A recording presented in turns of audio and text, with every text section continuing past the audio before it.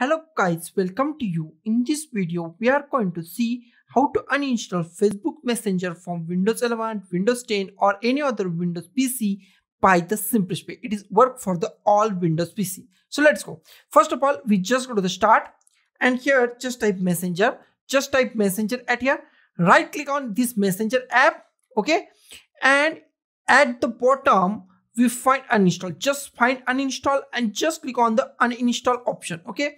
Now it's asked you you want to uninstall or not. If you want to uninstall then just click on the uninstall or just click on the yeah, cancel. I want to uninstall so i just click on the uninstall button. It's take few minutes.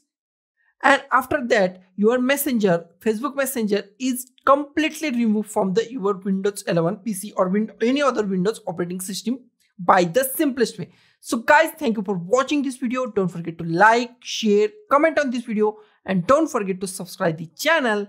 Thank you guys.